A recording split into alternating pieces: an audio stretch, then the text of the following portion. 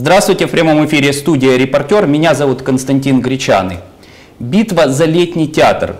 Именно так можно охарактеризовать события, которые произошли в субботу. Столкновение между общественниками и полицией. Пострадал главный полицейский Одесской области, ему разбили голову. Вот почему так произошло? Территория уже много лет находится в бесхозном состоянии, в ужасном состоянии. Э, сменилось несколько арендаторов, но вот когда появилась информация о строительстве, потенциальном строительстве на этом месте высотного здания, э, тогда вот общественность, э, протесты общественности достигли своего апогея. И вот в принципе уже это движение набрало своей массовости, и вот, к сожалению, произошел в субботу такой вот конфликт, летели камни, были э, драки. Э, вы это, наверное, видели на экранах. Кто не видел, можете посмотреть э, по ходу нашего эфира на одном из экранов нашего мультискрина. Вот постараемся разобраться, почему так случилось. К нам сегодня пришли Владислав Болинский, экоактивист, общественник, представляет организацию «Зеленый лист». Добрый вечер. Добрый вечер. Александр Шеремет, депутат Одесского городского совета фракция «Доверяю делам», сегодня будет представлять позицию городской власти. Добрый вечер. Добрый вечер. Также по ходу эфира к нам обещал присоединиться Руслан Форостяк, главный консультант начальника областной полиции. Если у вас есть вопросы к нашим гостям студии, звоните по номеру прямого эфира 34 92 58. 34 92 58. Также мы предлагаем вам принять участие в нашем интерактиве. Вопрос очень простой. Сохранит ли Одесса летний театр? Если считаете, что сохранит, звоните по номеру 784 80 81. Если считаете, что не сохранит, по номеру 784 80 82. Владислав, у меня вопрос к вам, как общественнику, как участнику тех событий. Вот мы обязательно коснемся истории летнего театра, да, и вот юридических моментов. Но вот почему в субботу именно произошли вот эти массовые столкновения? Вроде же до этого был какой-то диалог. Были договоренности, что вроде все должно быть спокойно. Почему полетели камни, вот эти драки? Собственно, то, что происходило. Э, да, но э, на самом деле э, диалога не было. Э, были э, наши опасения очень серьезные, э, и были наши заявления о том, что мы проводим соответствующее мирное собрание.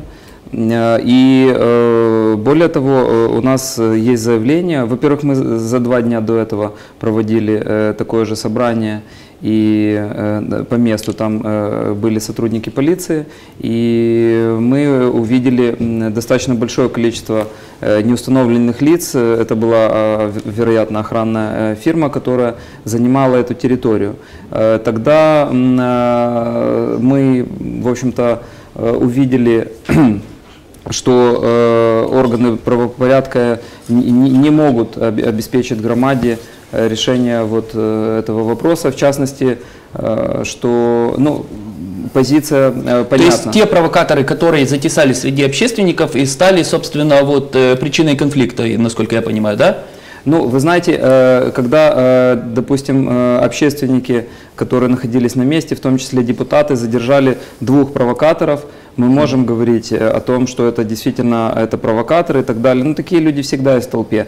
Но когда э, провокаторы в конечном итоге оказываются э, ну, не задержаны, скажем так, э, и они не установлены, а вот это уже недоработка полиции. Почему? Потому что э, существуют, ну, скажем, определенные механизмы выявления, Э, таких людей и, и работа, которая должна предшествовать таким массовым мероприятиям по э, осмотру периметра, допустим, на предмет взрывоопасных веществ и так далее. В частности, там э, за день до этого непонятные люди и э, э занимались тем, что вымазывали все конструкции, выходящие на территорию городского грусада, вымазывали солидолом, примеру, э, занимались тем, что заваривали, вели сварочные работы на воротах и так далее заваривали. И что самое ужасное, я э, понимаю, что есть определенные недоработки, то, что вот и в настоящее время, вот сейчас, вот эти металлические конструкции, которые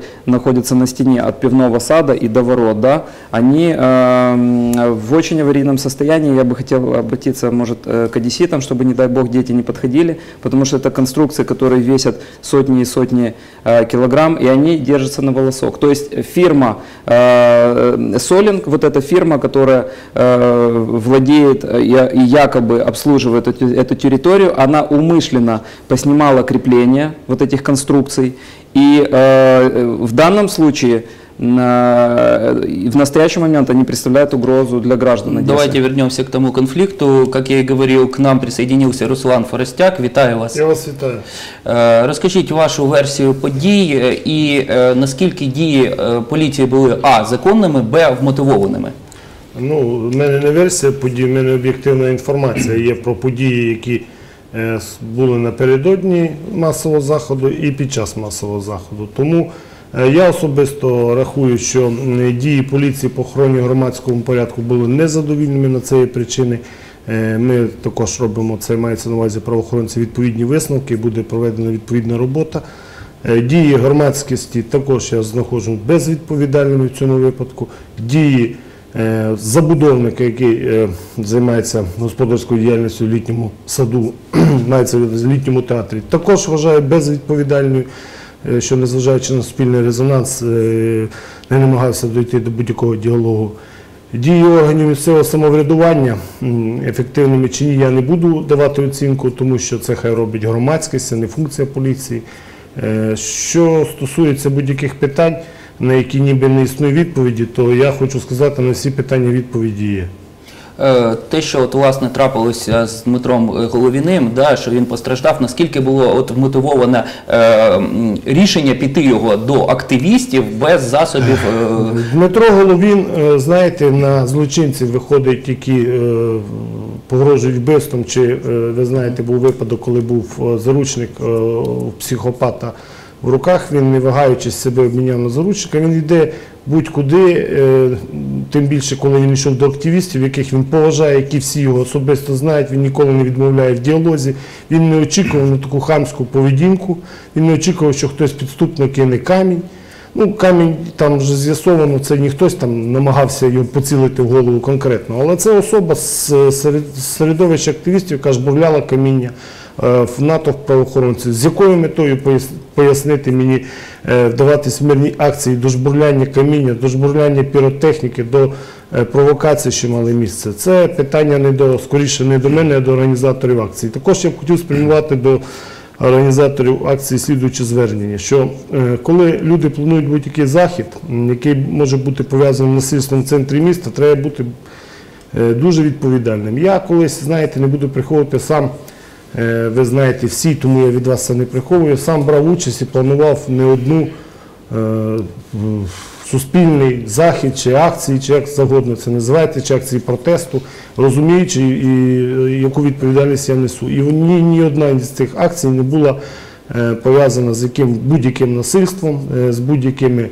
е, кров'ю пролитою з будь-якого боку, чи з будь-якими хуліганськими діями. Згадайте. Е, Це по-перше. По-друге, якщо е, організатори відчувають, що на їхню акцію можуть нахлинути провокатори з одного, з іншого чи з третього боку, а так там і було, що там були провокатори з різних сторін, е, то вони мають звернути увагу на попередження правоохоронних органів. Ми отримали заявку напередодні, це від зеленого листа організація, що намагалася проводити захід, вони нас попередили, що вони будуть напередодні цього заходу, що буде така акція. Ну і звичайно моніториться соцмережі, це зрозуміло все, що правоохоронці знали, що така акція буде проводитися. Чи буде вона мирною? У нас були е, очевидно об'єктивні дані, що не буде мирною. Ми цю інформацію повідомляли і організаторам також. Е, Я не бачив ніяких спроб координуватися з правоохоронцями напередодні заходу.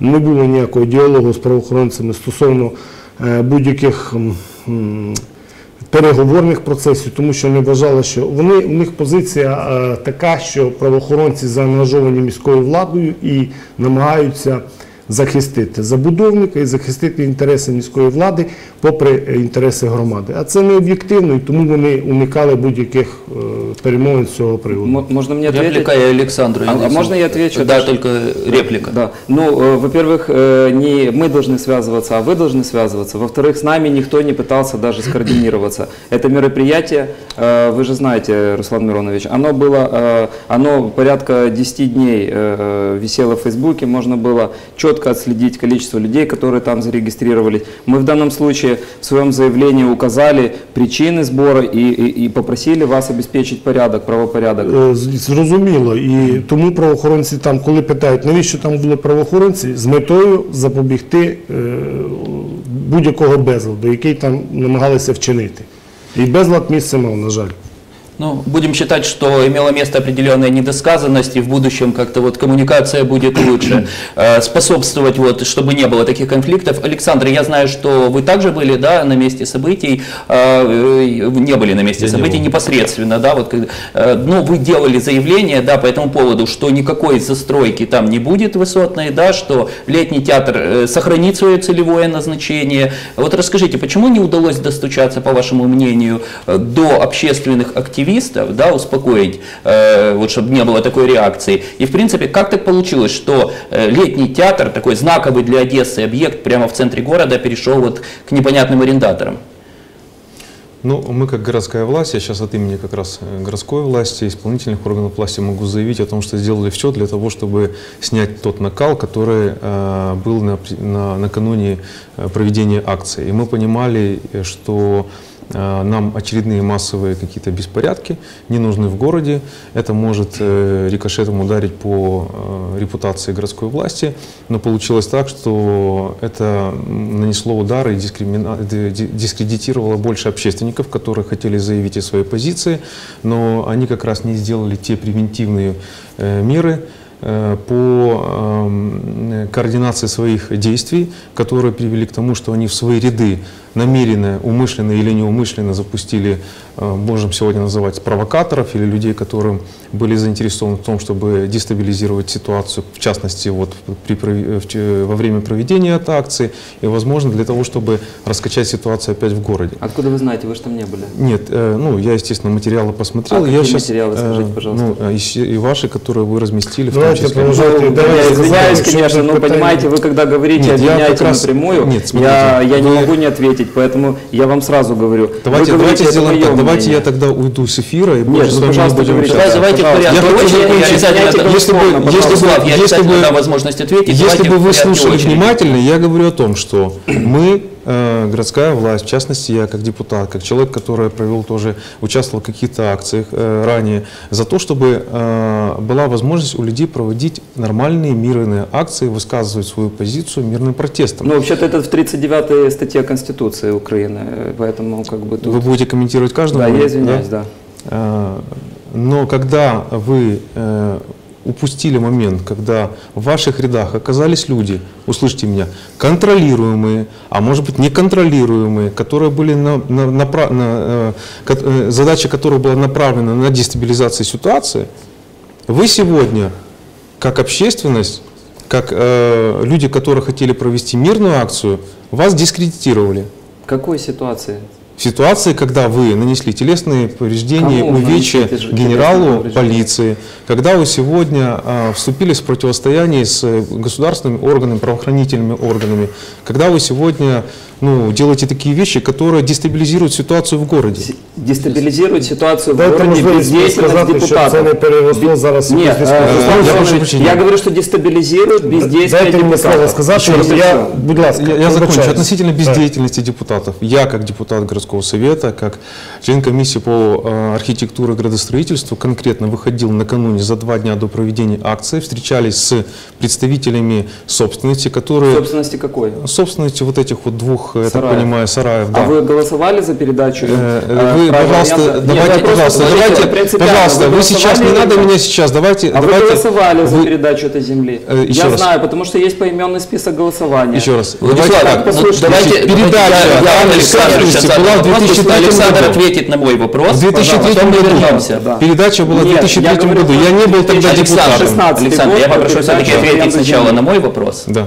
В порядке очереди, так сказать. Да, вот как раз по, э, в принципе, вопрос схожий, да, как так показалось, просто он более общий, как вот земля оказалась в, такая вот знаковая земля, да, оказалась в аренде у неизвестных арендаторов.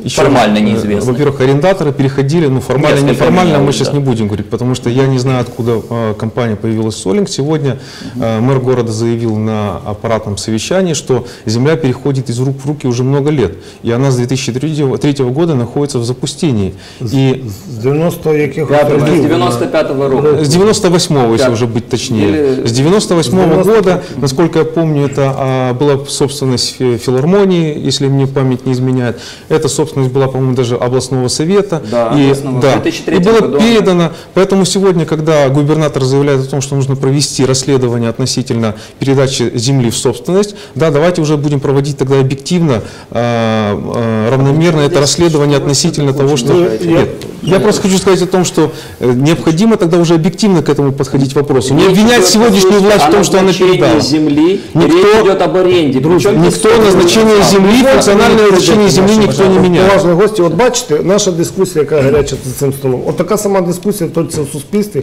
навколо цього об'єкту вже тривалий час. Ніякого діалогу, ніякої поваги до один одного. Вони не чують один одного. Е, Правоохоронці змушені займатися не може не їхніми прямими обов'язками шукати діалог, шукати якісь методи заспокоєння ситуації в місті, тому що е, в будь-якому випадку страждають цього правоохоронці. Відповісти мені, будь ласка, на одне питання.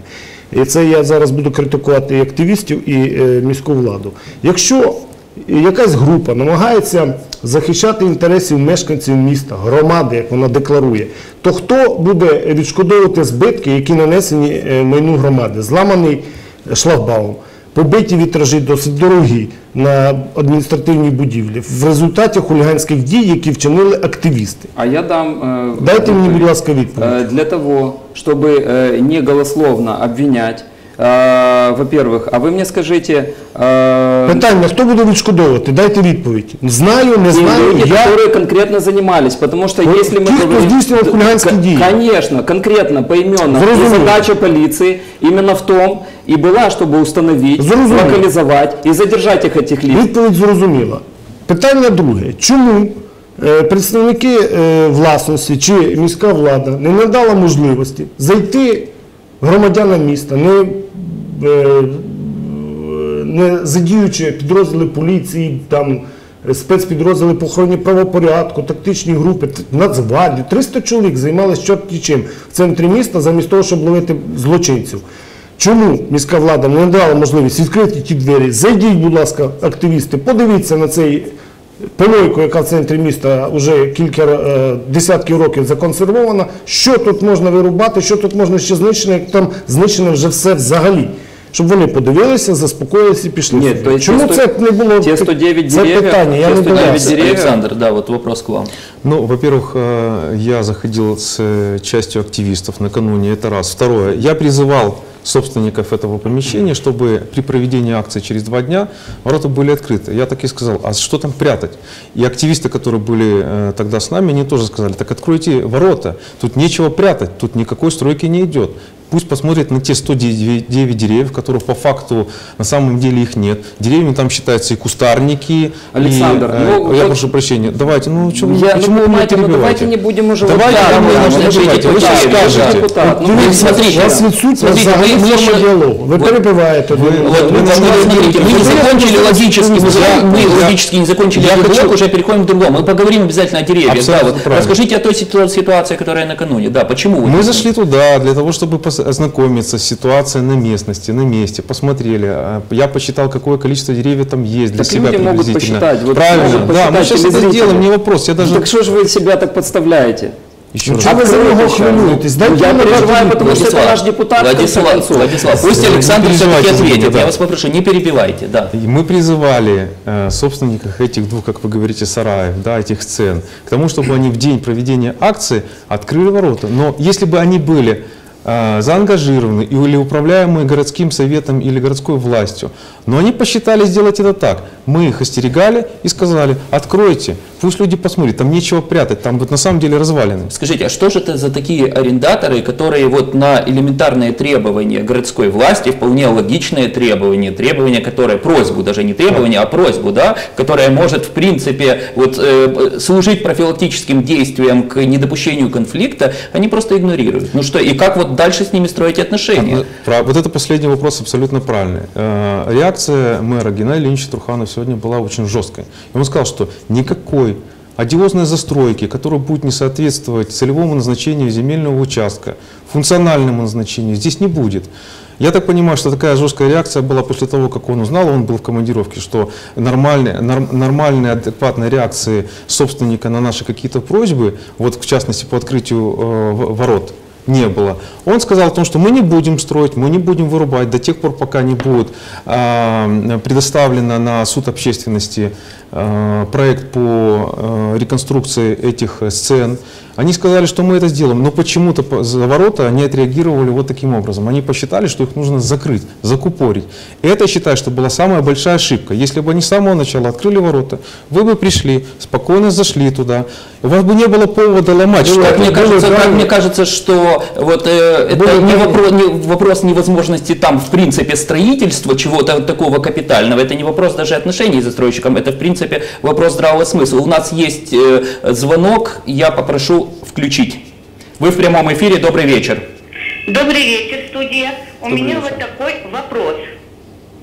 Э, э, Вопрос э, к представителю мэра.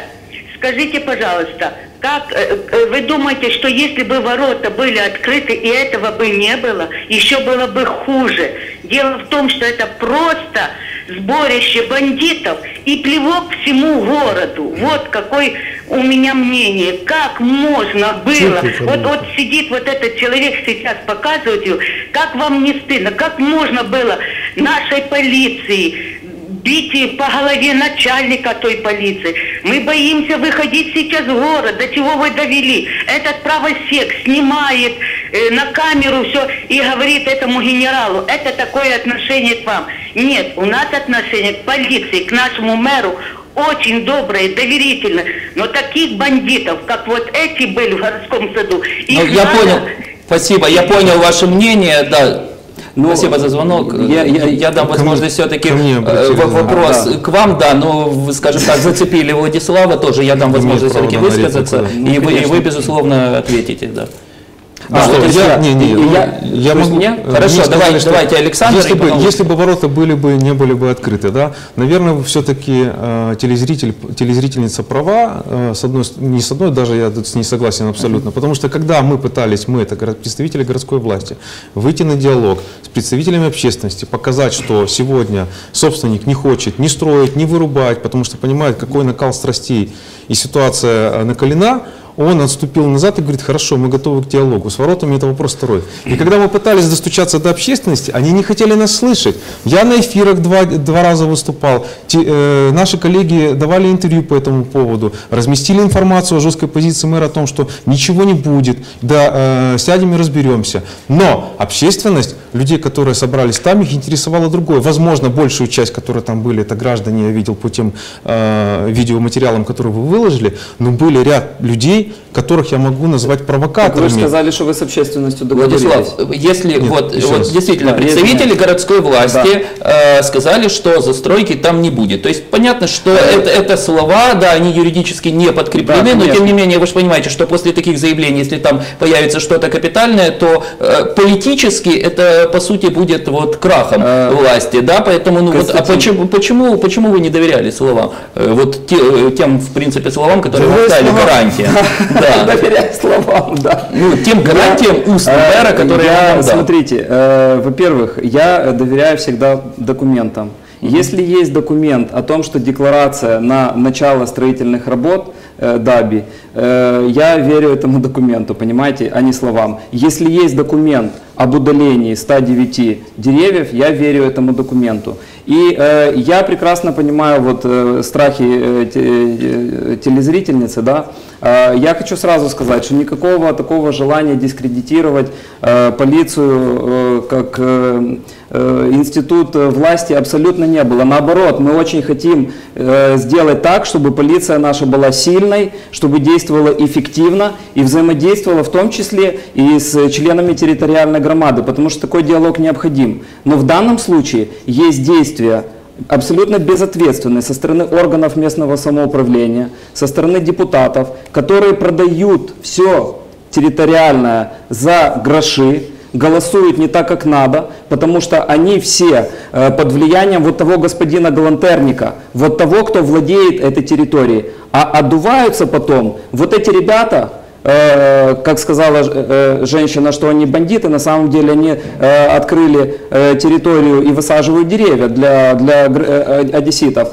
И полиция действительно, потому что сейчас ситуация такая, что реформируется полиция, она не, не всегда э, успевает э, реформироваться. И, кстати, эти реформы направлены в том числе на взаимодействие с общественностью, на взаимодействие э, с громадой. Поэтому здесь, вот поверьте, когда вот такие обвинения идут со стороны, э, допустим, э, Геннадия Леонидовича, со стороны депутата фракции «Доверяй делам», я, я, я их не приемлю. Я хотів Если вы- ремарочку зробити Так, будь ласка.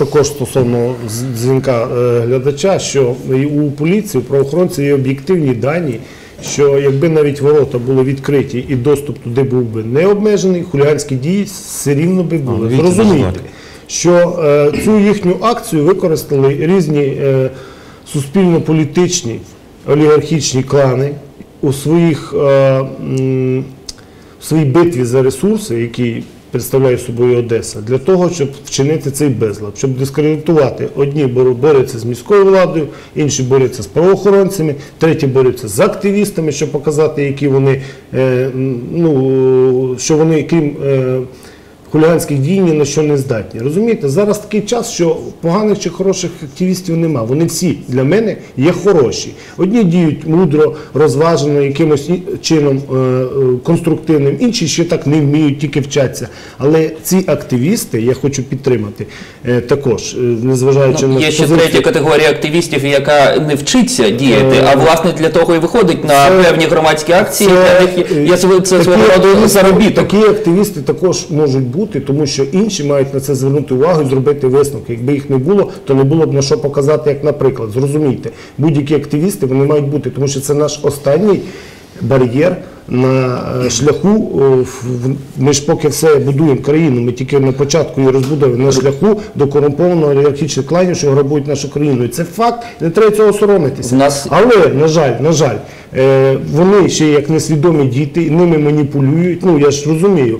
Е, Є багато проблем, і саме головне, вони не готові до діалогу, що демонструють вони прекрасно в нашій студії. Е, Руслане, ще одне важливе питання не як до поліцейського, а як до е, громадянина. Скажімо так, ви сьогодні зробили перепост на своїй сторінці в Facebook зі сторінки губернатора, який а, заявив, що він буде звертатися до міської ради, е, щоб зелений театр перенесли на територію літнього театру. Ну тобто, це фактично ми вже втрачаємо тоді зелений театр. Я не знаю, Правильно чому я вам сподобалися ці будь-які кроки е, голови Одеської державної адміністрації, який демонструє, що він дуже ефективний кризовий менеджер. В будь-якій кризі він знаходить розумні необхідні кроки для того, щоб її подолати. І відповідно має необхідні ресурси і авторитет, і суспільний, і політичний. І тому я сподіваюся, якщо на місцях це неможливо вирішити з громадою, то можливо хтось інший зможе цю кризу вирішити будь-яким шляхом. І будь-які кроки на е, такі е, дії я вітаю. І це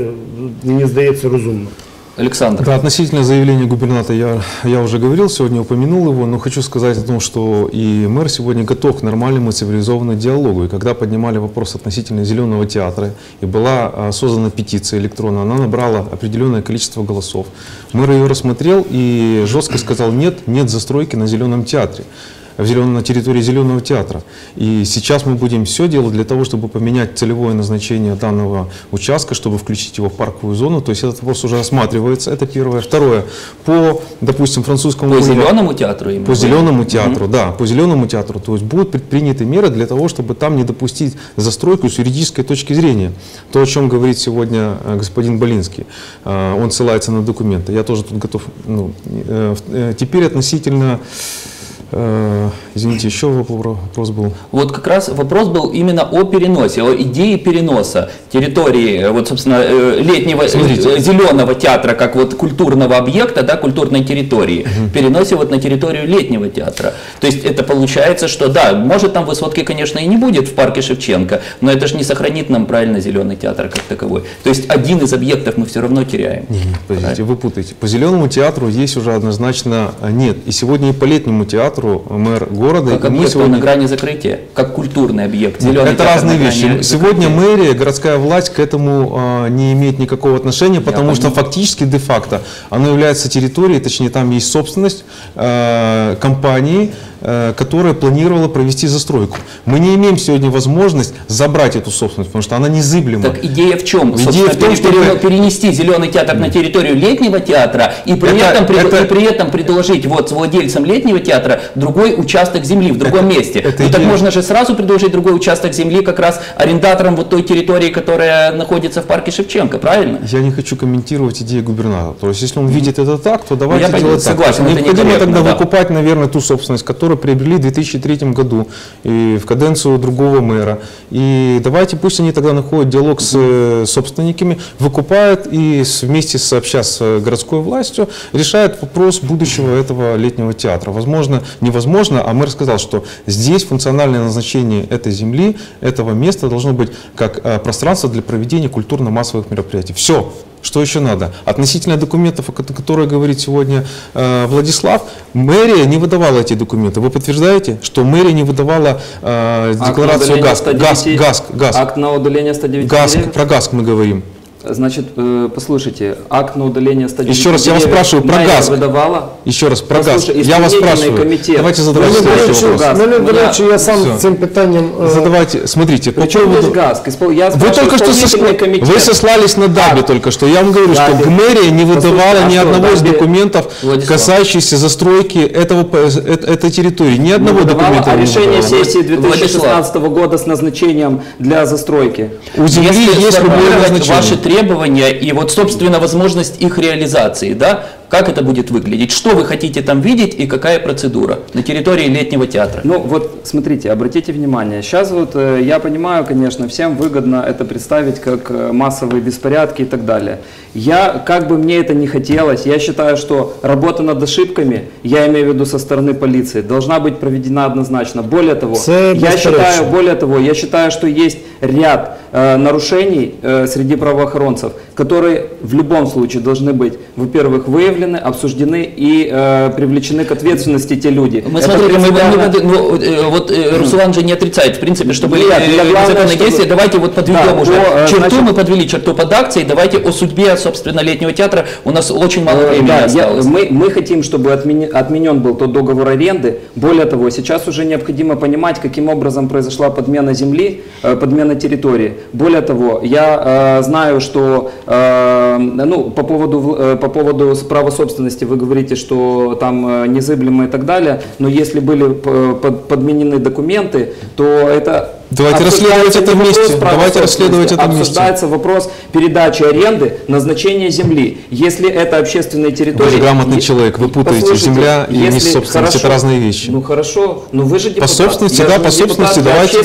давайте по И собственности проведем общественник я расследование, да.